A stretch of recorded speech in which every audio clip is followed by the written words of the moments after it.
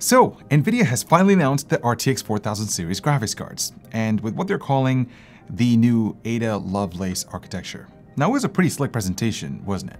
But there's a lot of things that NVIDIA didn't tell you, and that's what I want to talk about.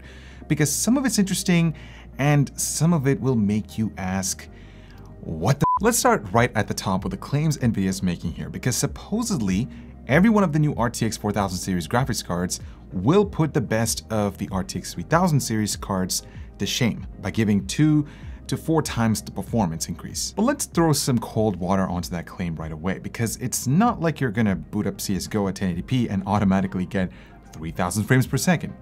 Oh, Are ya? This is in some very, very specific handpicked games with ray tracing enabled like Flight Simulator Portal RTX, and an internal NVIDIA demo called Racer X. Even the few performance charts they've shown are super slanted towards 4K gaming with ray tracing enabled. And hey, they've also turned on the new DLSS 3 frame generation, which is something I'd like to talk about later.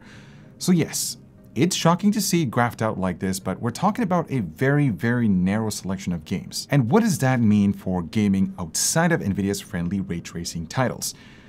Well, this is what they said. For rasterized games, Ada is up to two times faster, and it's four times faster for ray traced game.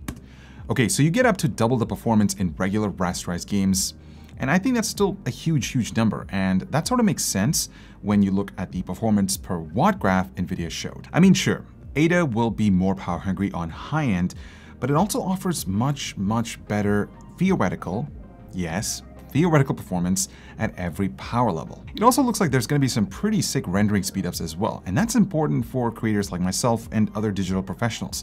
Using up to 70% less time on a project being rendered out is pretty game changing. The all new H7? What's not to like? It's like a perfectly tuned guitar or a sharpened knife, keeping the user happy and your hardware safe. The best part is the redesigned interior that is full of potential with 360 route support at the top and front, including 140mm mounts, a totally new cable management system and cable bar with of course vertical GPU support with this Gen 4 PCIe riser kit. The 3K styles are made to suit your needs with the flow being my favorite. I think this is the way to full tower your next build. Check out the new H7 when your heart desires. The specs here are interesting too. The top dog will be the RTX 4090 and it's a beast compared to the RTX 3090 Ti in almost every way.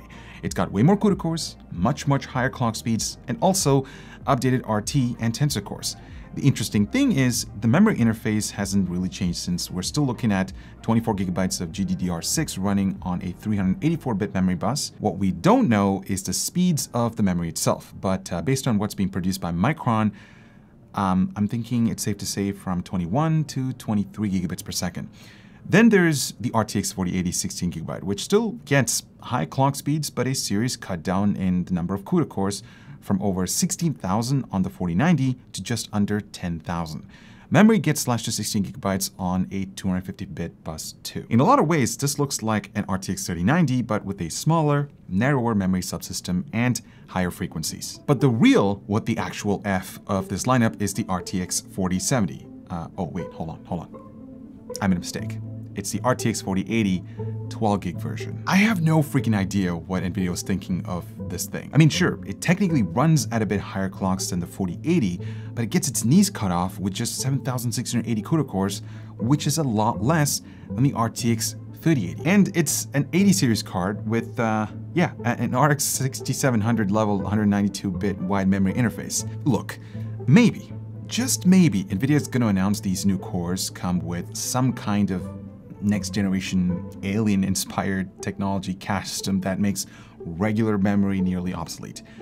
But uh, we all know that that's not going to happen. Honestly, why NVIDIA didn't just call this an RTX 4070 is a mystery, and I'm sure that's something that only Jensen can solve. And pricing for these cards is pretty interesting too, but the goalposts have been moved again, with the 4090 costing a bit more than the 3090 and the RTX 4080 16 gig aligned with the RTX 3080 Ti instead of the vanilla RTX 3080.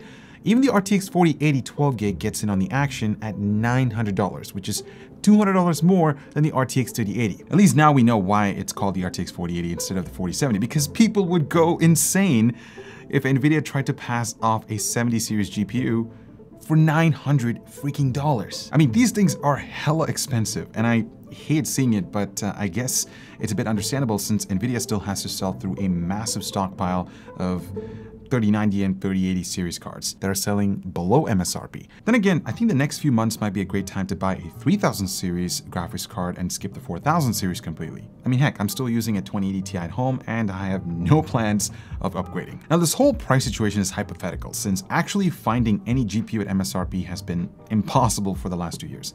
But we're finally seeing something at least resembling normal after the crypto mining craze and crash, so maybe we'll see the light at the end of the tunnel. Or maybe that light is the approaching train of crazy power consumption. And look, all those rumors of GeForce cars guzzling back over 600 watts have been proven wrong. That was never ever going to happen on the desktop platform, at least not yet. Right now, typical board consumption seems right in line with the previous generation's highest end cards, and that's good news for the performance per watt. If NVIDIA can actually deliver on that two times performance per watt, even in regular games, without ray tracing or other fancy RTX technologies enabled, these things, my friends, mm, they're gonna be they're gonna be wicked fast. This also makes you wonder what kind of juice something like the RTX 4090 Ti is gonna need if it uh, ever comes out. But then again, the price of that thing is probably gonna be unreachable. Now, one of the things you'll need to take into account is that all of the RTX 4000 series cards use the new 16-pin PCIe Gen 5 power connector, not the NVIDIA-specific 12-pin that they came out with the RTX 3090, 3080 series, and so on. That means the RTX 4090 and 4080 16GB will come with a triple 8-pin to 16-pin adapter, while the 4080 12GB will have a dongle with two 8-pins. Now, if you're looking for a native 16-pin cable, the 4080 12GB will need one rated for at least 350 watts, while the other two cards need a minimum 450 watts spec. Speaking of PCI Gen 5, while the RTX 4000 series might use the new power connector, NVIDIA has chosen to stick with a Gen 4 graphics interface this time. And that makes complete sense since even with so much computing horsepower, the RTX 4000 series won't anywhere be near the saturation point of a PCI Gen 4 slot. Plus, there might be other benefits too, like less complication on the chip side, uh, some power savings and whatnot, but we'll only know more about that as the launch comes closer. Now, another thing that you might have missed is the cooler NVIDIA showing on the Founders Edition cards. It might look the same as the one on the 3090, but uh, they've actually made some subtle differences. First of all, we've been told that the internals have been completely updated and it might look like the fans gone supersized, but it's a combination of a slightly bigger fan along with a bit narrower shroud. And the card has also shaved some length going from the 3090 Founders Edition's 313mm to 304mm. It still isn't huge, but still, on a huge triple slot GPU, every millimeter matters. Now another interesting thing popped up too, and that's this. On NVIDIA's site, it looks like the RTX 4080 12GB won't be available as a Founders Edition, so you're only gonna be limited, or at least you're only gonna get the 4090 and the 4080 16 gig. Then there is SLI, you know, the multi-GPU technology that's been around forever, yet simply refused to die. Eventually, it morphed into NVLink on the RTX 3090 series, but uh, even that's gone now too, because most games just don't support multi-GPU acceleration, and NVIDIA is used to spend tons of resources making sure that SLI function properly on the driver side. Plus, with GPUs this powerful, I don't think I mean, is it really necessary? Now, there are technologies like DLSS that allows for higher frame rates, and that's now morphing into DLSS 3. One of its new features is called optical multi-frame generation that interprets data coming from a game engine and creates new frames using AI acceleration. That means even higher frame rates than DLSS already achieves. Yes, I know that's a huge oversimplification, but we're putting together a video about DLSS 3 with a lot more detail, so stay tuned for that. Anyways, I guess NVIDIA needed a killer app for those tensor cores, and this might be it, because what they showed is pretty crazy with frame rates shooting through the roof, even with RT enabled. Now, there are two catches though. Since the Ada Lovelace architecture has an optical flow accelerator built into it, DLSS 3 will only be available for the RTX 4000 series. Also, DLSS 3 needs in-game support, so it'll be tied to games that include it. Luckily, NVIDIA has a pretty big list right now. The only thing is we'll have to wait and see how many actually roll this technology out. Now, one of the small things that I picked up is what I'm actually more excited about.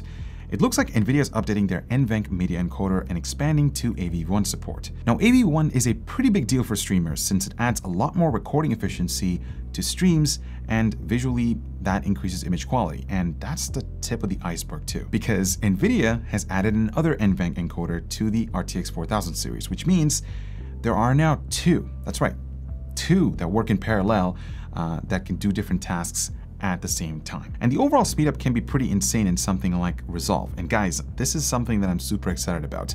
It could change my workflow completely. Now, this also allows you to record up to 8K at 60 frames per second content in real time through GeForce Experience or OBS Studio. Plus, in the past, you could only encode up to three concurrent streams on every GeForce card that I can remember. If you want to increase that, you'll need to step it up to the Quadro series. Will we now be able to handle six streams at once without hack drivers? Well, I guess we'll see. So there you have it. RTX 4000 series is finally here. Let me know what you guys think about in the comments. If you guys have any specific comparisons or anything that needs to be addressed, again, chime in in the comments down below and we'll definitely bring it up in our performance reviews, so stay tuned for that. Uh, and uh, yeah, I'm gonna peace out. Like literally, I'm gonna peace out.